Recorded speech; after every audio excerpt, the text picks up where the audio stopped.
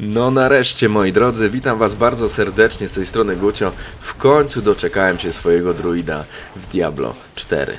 Jestem bardzo, bardzo szczęśliwy, dlatego że właśnie w Diablo 2 cały czas grałem druidem, byłem mega zajarany tą postacią. E, Podobnie tak samo jak w World of Warcraft, również grałem druidem całe, całe życie niemal. Oczywiście próbowałem tam innych jakichś klas postaci, wiadomo, ale jednak druid to było to, co mnie przyciągało najbardziej. No i cieszę się, że w końcu mam tego druida do przetestowania. Tak jak wcześniej Wam mówiłem, grałem podczas zamkniętej bety, ale wtedy niestety ze względu na pracę miałem bardzo, bardzo niewiele czasu na to wszystko. Natomiast teraz mogłem pograć trochę dłużej i właśnie stworzyłem sobie tego druida e, pulchniutkiego, tak jak ja. E, No i jestem bardzo, bardzo pozytywnie zaskoczony, bardzo zadowolony. Mm, Oczywiście w Diablo 2 bazowałem sobie na druidzie, który posiada e, bardziej e, swoje te czary, skille, władał żywiołami. Mm, Oczywiście druidzi potrafili jeszcze przywoły, przywoływać jakieś stworzenia, potrafili e, posługiwać się również e, zmiennokształtnością, jeśli tak to można w sumie powiedzieć. E, Ja niestety jakoś tak, znaczy niestety, no nie przepadałem jakoś za, za zmianami, no na pewno będę sobie tu jeszcze to testował, myślę następnym razem, albo już po premierze gry, natomiast Jakoś wolałem władać żywiołami, no i podobało mi się to, że druid był w Diablo 2 taką kombinacją walki wręcz i jednocześnie walki dystansowej. Bardzo, bardzo pasował mi tego typu gameplay. No i tutaj mamy w zasadzie dokładnie to samo, tylko lepiej. E, oczywiście nasz druid również potrafi władać różnymi żywio- żywiołami, tym razem jednak nie za bardzo ogniem, tutaj bardziej jest coś na mm, zasadzie ziemi, powietrza i błyskawic. Ja poszedłem w takim razie w stronę błyskawic, co jest całkiem fajne i biorąc pod uwagę wygląd swojego druida i to, że jeszcze może mieć na przykład topór, no to czuję się trochę jak Thor z Avengers Endgame. Także bardzo przyjemnie, a ogólnie błyskawice fajnie się sprawdzają, podobają mi się te efekty, które roznoszą się też na innych przeciwników, więc y, w walce takiej obszarowej, y, kiedy mamy dużo, dużo przeciwników, myślę, że jest bardzo fajny i się sprawdza, a kiedy zabraknie nam tutaj tego, mm, tej jego many, to jest jakaś tam duchowa energia, ale y, kiedy nam tego zabraknie, no to oczywiście możemy łatwo przenieść się w walkę. Wręcz, ma też sporo swojego jakiegoś takiego armoru, sporo wytrzymałości, więc nie pada tak szybko jak czarodziej, więc myślę, że on jest taki idealnie wyważony y, pomiędzy właśnie rozgrywką dystansową, pomiędzy rozgrywką y, zbliżoną z bliska. E, Bardzo mi to odpowiada, bardzo przyjemnie mi się gra.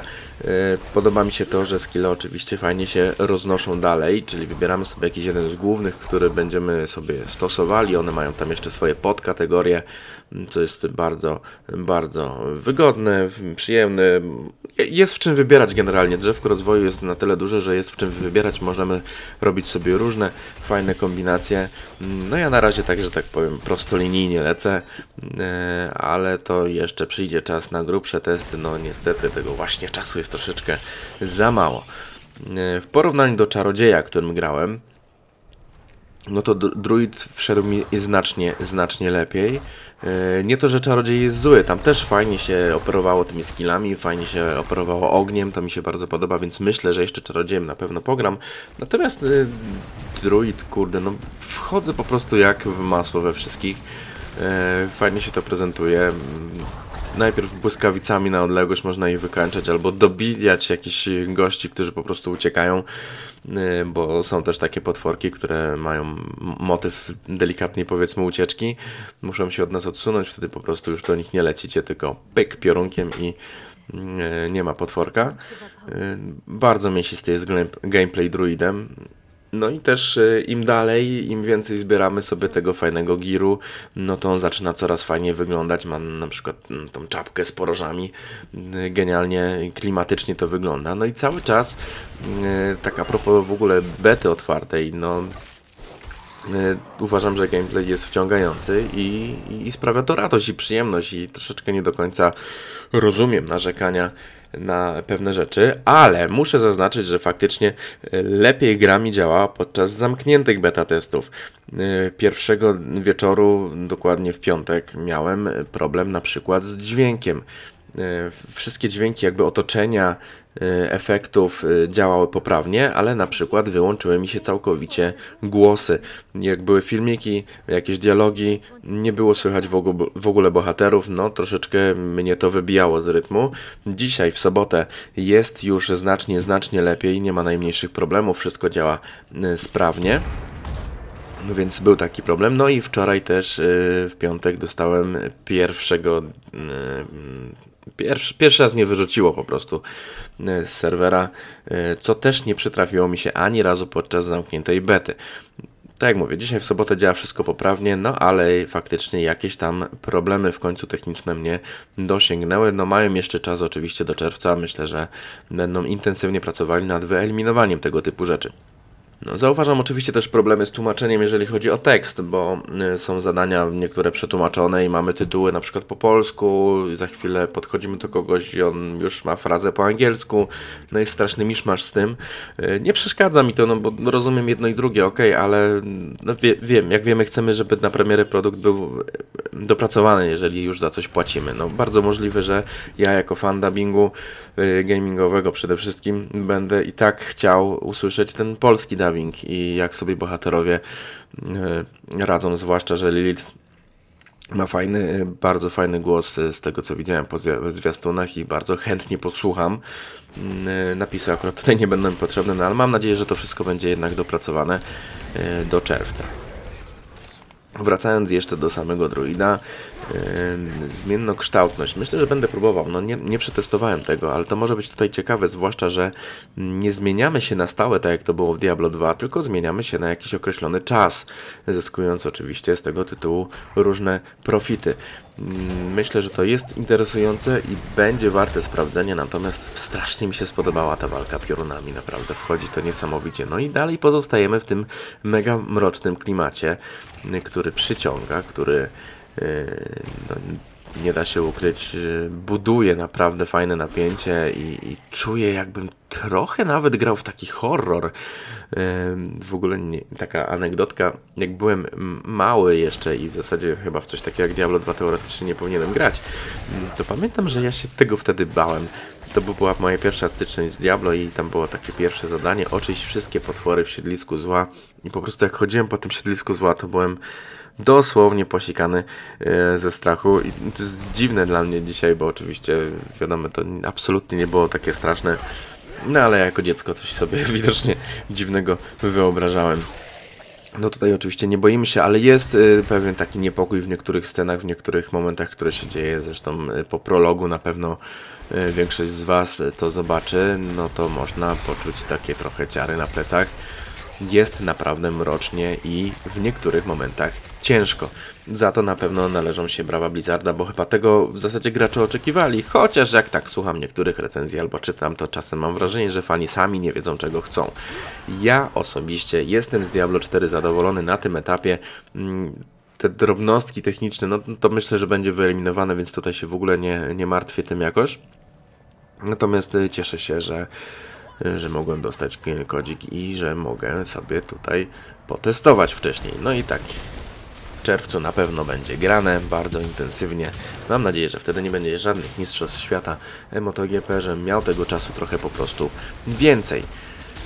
Zwróciłbym jeszcze uwagę na skalowanie. Faktycznie y, jakoś przy pierwszej zamkniętej becie na to nie zwracałem uwagi, po prostu cieszyłem się rozgrywką. Natomiast tutaj rzeczywiście jest coś takiego, że to skalowanie mm, nie daje poczucia progresu w naszym przypadku, tak mi się wydaje. E, rzeczywiście, no niby awansujemy, niby ulepszamy swoje skille, niby e, zbieramy lepszy sprzęt, ale te potwory non-stop się do nas dostosowują e, i po prostu cały czas ta walka jest wyrównana.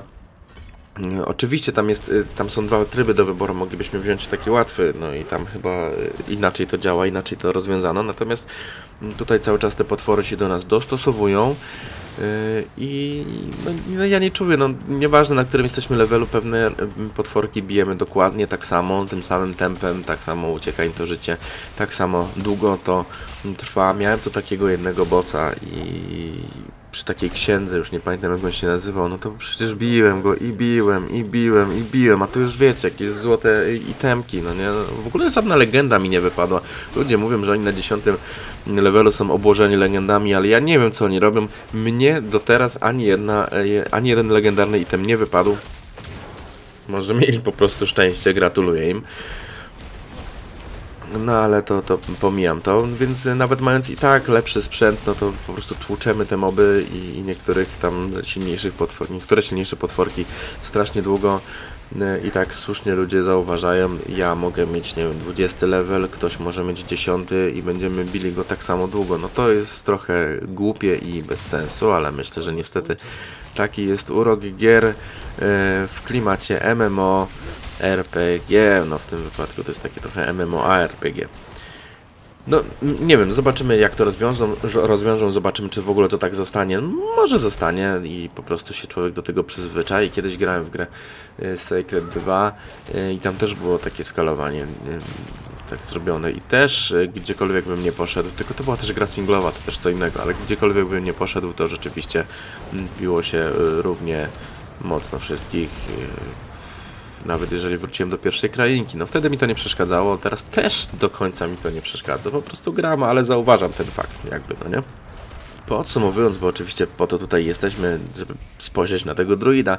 Druid jest bardzo wszechstronny, bardzo e, kontaktowy, jeżeli chodzi o rozgrywkę. No, wchodzi się w niego od razu, łatwo się przyzwyczaić, e, łatwo się go myślę nauczyć. Nie jest jakiś trudny w opanowaniu, może to jest oczywiście moje odczucie, no i podoba mi się, że jest taki wypośrodkowany, trochę walki na dystans, trochę walki mm, z bliska i w obu przypadkach radzi sobie bardzo dobrze, jednocześnie będąc wytrzymałym, więc nie pada od byle czego, jak na przykład czarodziej. I to jest naprawdę świetne. No a poza tym druid to jest jakiś taki klimat według mnie bardzo fajny, zwłaszcza jeżeli chodzi też o wygląd, o to w jaki sposób posługuje się różnymi rzeczami. Szkoda, że w Diablo 3 tego druida nie było, no ale fajnie, że jest teraz i fajnie, że mogę do tego wrócić. Zachęcam Was gorąco do sprawdzenia druida. Jeżeli będzie premiera już Diablo 4, będziecie mogli zagrać lub jeszcze teraz podczas trwającej otwartej bety, bo dlaczego by nie. Trzymajcie się ciepło. Do zobaczenia, do usłyszenia. Cześć.